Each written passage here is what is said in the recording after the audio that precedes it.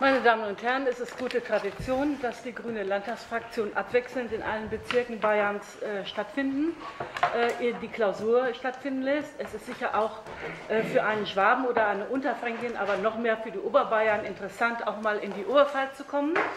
Amberg ist die frühere Hauptstadt der Oberpfalz und bietet sich für eine solche Zusammenkunft gut an, weil grüne Politik hier auch sehr stark verankert ist. Auch die Themen, die wir bis Freitag diskutieren werden, haben einen deutlichen Bezug zur Oberpfalz. Grüße Gott, meine Damen und Herren. Äh, Sie sehen uns hier in guter Stimmung, heißt wir äh, gehen gestärkt und tatsächlich in sehr guter Stimmung ans Werk, an die kommende Arbeit. Warum ist es so? Das wissen Sie, aber wir betonen es trotzdem noch mal gerne. 2011 war das bislang mit Abstand erfolgreichste Jahr für die Grünen in unserer Geschichte.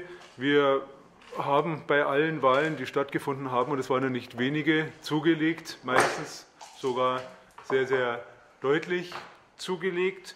Äh, wir Grüne sind jetzt zum ersten Mal in allen 16 Landesparlamenten noch äh, oder mindestens genauso interessant ist die Tatsache, dass es 70 Mandate mehr geworden sind durch die letzten Wahlen. Also ein, ein immenser Aufschwung, der uns selbstverständlich freut und der uns auch beflügelt. Herzlich willkommen hier in Amberg. Es ist klar, unser erklärtes Ziel ist der Politikwechsel in Bayern. Und die Chancen, das 2013 zu erreichen, sind so groß wie noch nie. Ein Politikwechsel in Bayern geht nicht mit der CSU.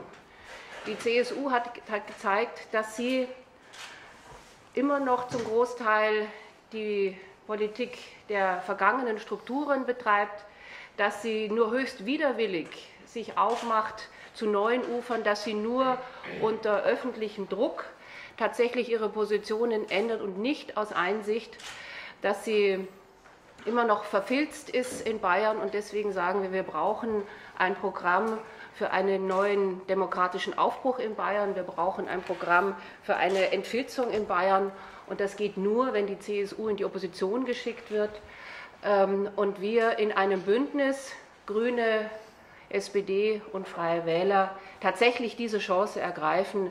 Die Bürgerinnen und Bürger sind nicht mehr bereit, irgendwelche Basta-Entscheidungen hinzunehmen, irgendwelche Verordnungen von oben hinzunehmen, sondern sie wollen gehört werden. Sie wollen beteiligt werden, sie wollen mitwirken, sie wollen ihre Kompetenz, ihre Position einbringen.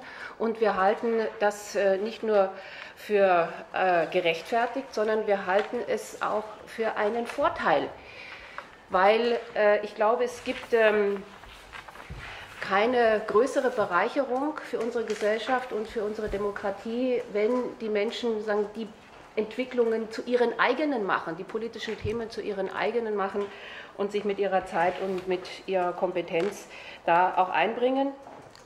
Und wir sagen auch mehr und bessere Bürgerbeteiligung ist eine Frischzellenkur für unsere Demokratie und ist auch ein starkes Gegengift gegen die grassierende Politikverdrossenheit.